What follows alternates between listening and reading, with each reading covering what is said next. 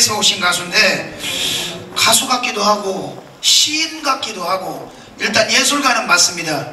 여러분 힘찬 박수로 조용필의 정이라는 노래를 멋지게 불러주실 예술가 가수 박한 가수를 박수로 초대합니다.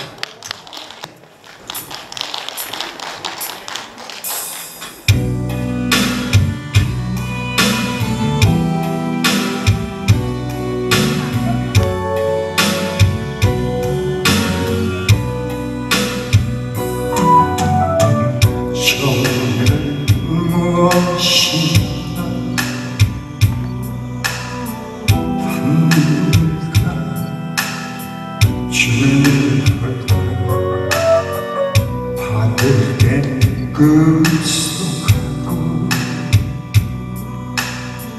줄 때는 안타까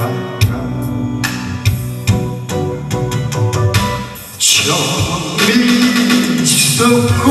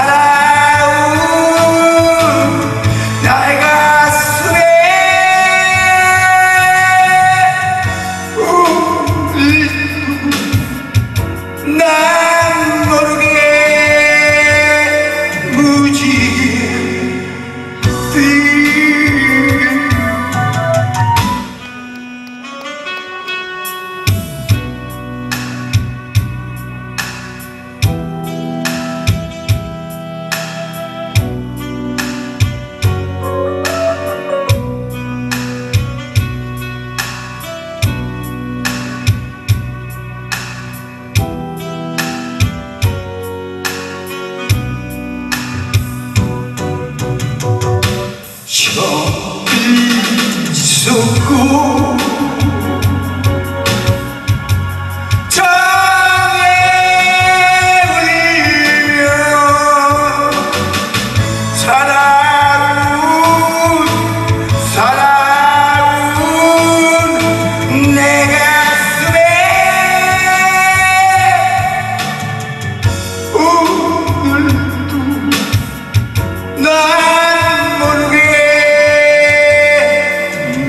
here.